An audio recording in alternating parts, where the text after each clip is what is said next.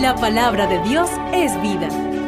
Ilumina nuestro corazón y alimenta el alma. Radio Natividad presenta el Evangelio de hoy. Lectura del Santo Evangelio según San Lucas, capítulo 9, versículos 7 al 9. Gloria a ti, Señor. En aquel tiempo, el rey Herodes se enteró de todos los prodigios que Jesús hacía y no sabía qué atenerse, porque unos decían que Juan había resucitado, otros que había regresado Elías y otros que había vuelto a la vida uno de los antiguos profetas. Pero Herodes decía, a Juan yo lo mandé decapitar. ¿Quién será pues este del que oigo semejantes cosas? Y tenía curiosidad de ver a Jesús. Palabra del Señor. Gloria a ti, Señor Jesús. Un saludo de paz y bien para todos aquellos que nos escuchan a través de Radio Natividad, la emisora católica del Táchira, donde queremos ser parte de tu fe.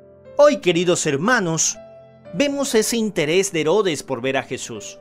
La gente no tenía muy claro quién será Jesús, y lo mismo le sucedía a Herodes.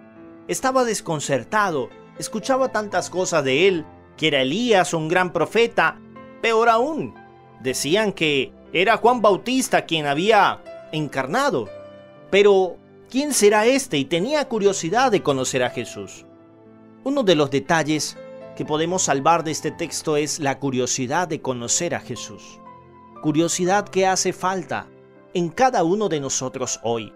No solo en aquellos que aún no son cristianos, que no son bautizados, sino en nosotros mismos, los bautizados, los católicos, ¿Cómo hace falta tener cada día más curiosidad y más sed, más hambre de conocer a Jesús? Hambre de ti, Señor, hambre de tu palabra, para poder predicarla mejor, para no dejarnos engañar tan fácilmente, especialmente de todos aquellos que predican un mensaje erróneo del Evangelio, de todos aquellos que se promulgan como la iglesia de Cristo cuando solo hay una. Hasta los Efesios que a Dios se le da gloria, honra y poder en su iglesia, una iglesia, hermano. Y esa es la católica. Y nadie puede decir lo contrario, porque se está engañando de verdad. Hoy, querido hermano, sencillamente te invito a tener curiosidad insaciable por Jesús, porque el que la tiene encuentra la salvación y la vida eterna, no solo la suya, la de su hogar, la de toda su comunidad y, ¿por qué no?, la del mundo entero.